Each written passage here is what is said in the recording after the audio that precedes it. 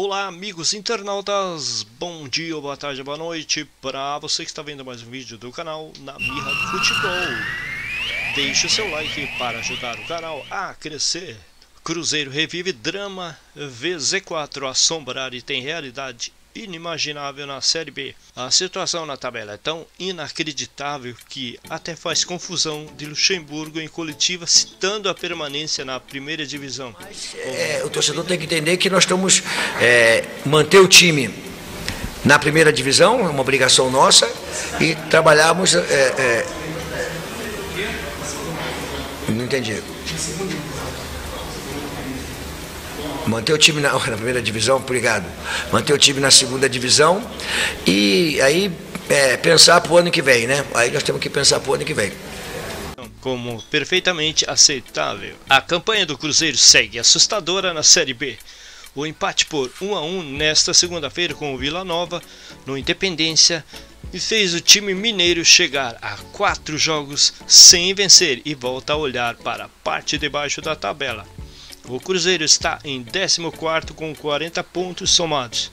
O discurso é de confiança contra o rebaixamento, mas o torcedor revive o drama dos últimos dois anos. É, Luxemburgo, Arthur Moraes, você diria depois de mais uma atuação melancólica, ruim do time diante da sua torcida que até apoiou, né, durante praticamente quase que todo o jogo, se revoltando no final. Esse time está sentindo já o peso, a responsabilidade, a pressão nesta reta final que realmente assusta o torcedor celeste? Arthur, com todo o respeito que eu tenho a você, o conhecimento que nós temos de bastante tempo, o termo que você usou, melancólico, não encaixa nesse jogo. Poderia você falar isso no jogo contra o Remo. A atuação pífia que nós tivemos contra o Remo. Hoje nós jogamos contra um adversário que vem há bastante tempo é, é, sem, sem perder, um time perigoso, um time que tem uma bola aérea muito forte. Pelo segundo ano consecutivo, o tetracampeão brasileiro vê a zona do rebaixamento para a Série C a assombrar. A realidade é tão in inacreditável que confunde até mesmo o treinador. O técnico Vanderlei Luxemburgo se confundiu por várias vezes na entrevista na coletiva chamar a segunda divisão de primeira divisão. De coerência, já que você é uma pessoa bastante coerente, nós não ganhamos os jogos decisivos que levaria a gente para brigar pelo acesso. Ponto. Então nós estamos brigando para manter o time na primeira divisão. O torcedor tem que entender na primeira, na, na segunda divisão, desculpe mais uma vez.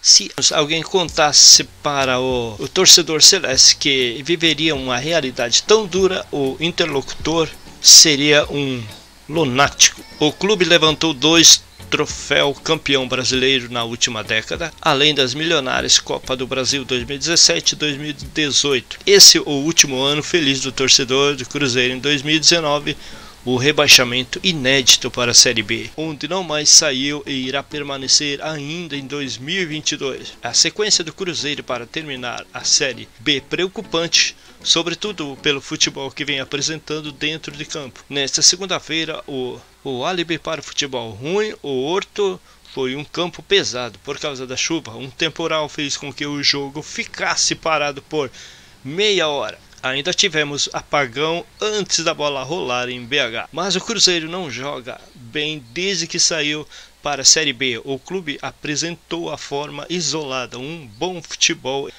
em algumas partidas, como o o caso da vitória em cima do Curitiba 3 a 0 no Couto Pereira. E em campeonato de pontos corridos, futebol isolado não há resultado.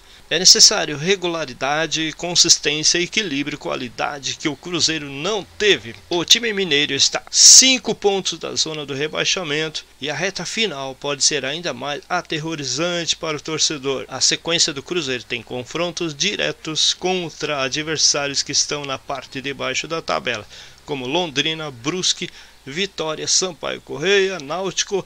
Esta é a realidade até o fim da segunda divisão.